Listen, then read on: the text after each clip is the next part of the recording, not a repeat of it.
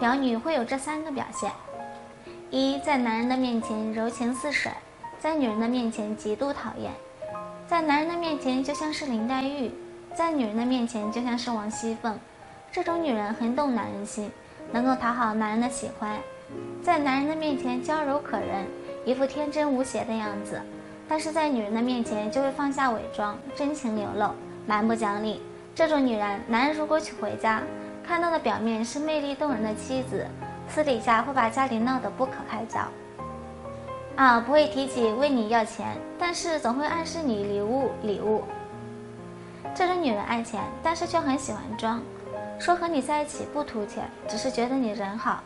其实和你在一起真的就是为了钱，只是想借助你上位。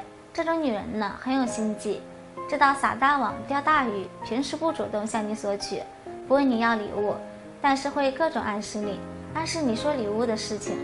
其实她内心当中就是想要你给她买礼物。